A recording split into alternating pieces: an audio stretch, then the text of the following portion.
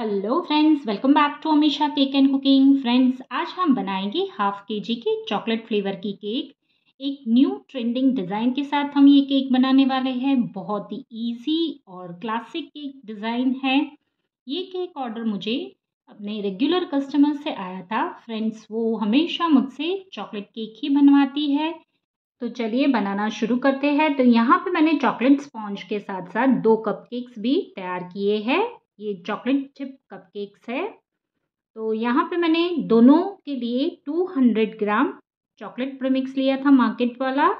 उसमें one tablespoon oil और पानी डालकर बैटर रेडी करके इसे मैंने ओटीजी में 160 डिग्री 35 मिनट्स के लिए मैंने इसे बेक कर लिया था। कपकेक को आपको 20 मिनट के बाद चेक करना है। अगर टूथपिक क्लीन निकलती है तो कपकेक को आपको बीच में निकाल लेना है।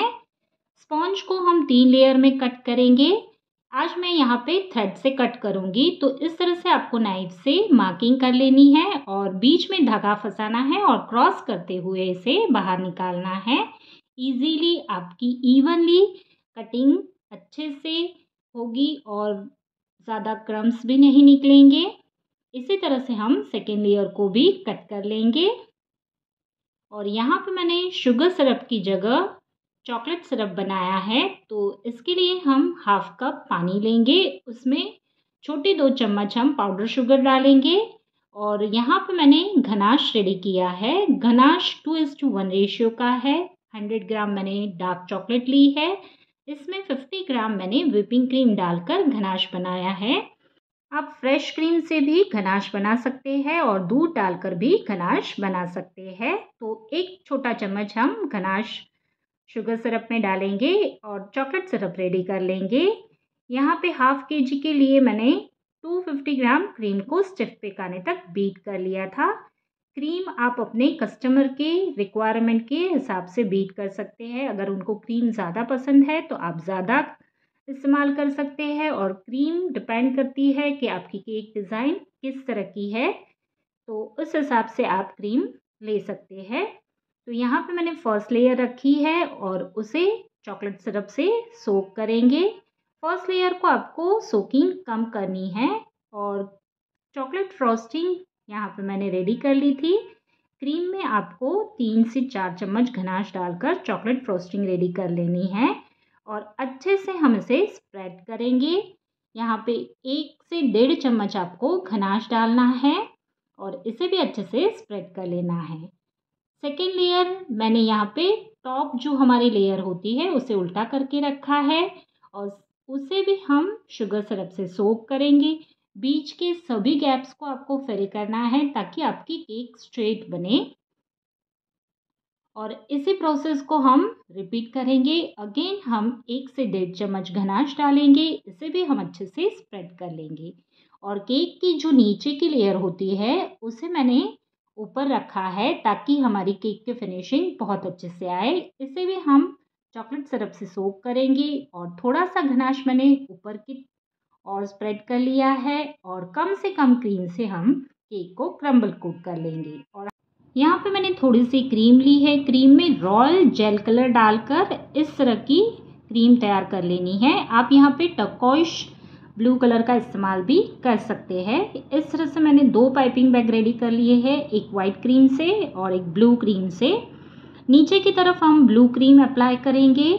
नीचे की ओर हमें ज़्यादा ब्लू क्रीम अप्लाई करनी है और टॉप में हम वाइट क्रीम से फ्रोस्टिंग करेंगे। तो इस तरह से आपको क्रीम को केक पर अप्लाई करना है। आप देख सकते हैं मैंने थोड़ी सी ही स्पेस खाली रखी है और इस तरह से हम वाइट क्रीम को भी केक पर अप्लाई कर लेंगे।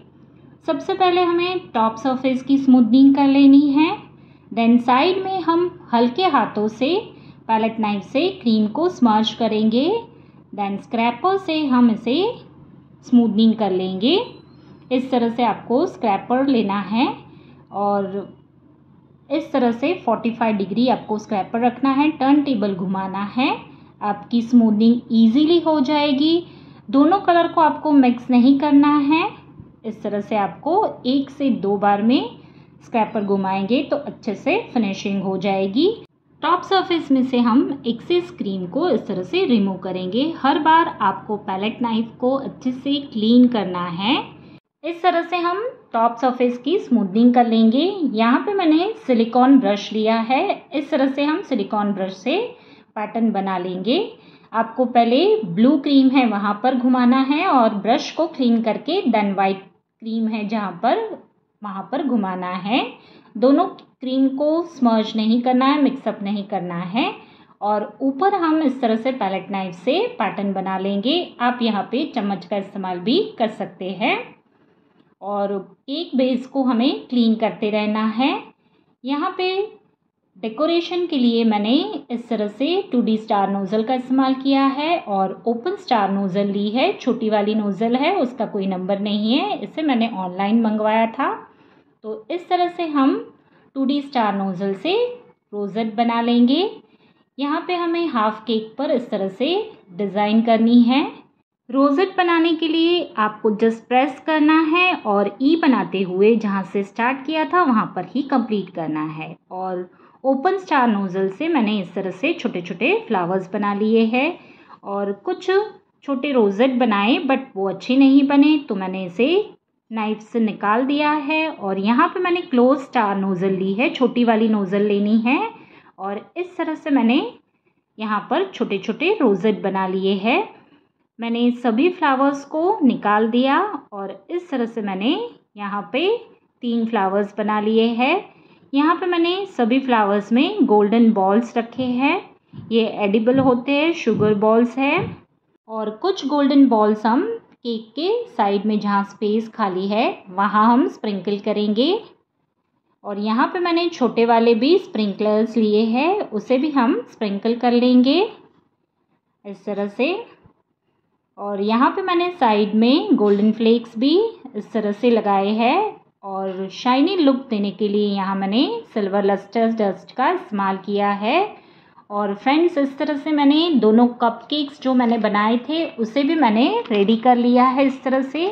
फ्रेंड्स अगर आप बिगनर्स हैं, अपना काम दूसरों तक पहुंचाना चाहते हैं, फैलाना चाहते हैं तो आप केक के साथ कुछ एक्स्ट्रा जो भी आप बनाते हैं, वो आप कस्टमर को टेस्टिंग के लिए दे सकते हैं इस तरह से। जैसे मैंने यहाँ पे दो कप केक्स बनाए, ये कप केक्स ऑर्डर के थे बट आप इस तरह से कुछ ना कुछ एक्स्ट्रा आप कस्टमर को दे सकते हैं, जैसे कुकीज़ है या फिर ब्राउनी है। तो इस तरह से आप अपना काम दूसरों तक फैला सकते हैं, ताकि कस्टमर को पता चले कि आप भी इस तरह से कुछ बनाते हैं तो नेक्स्ट टाइम वो आपको ऑर्डर दे सकते हैं।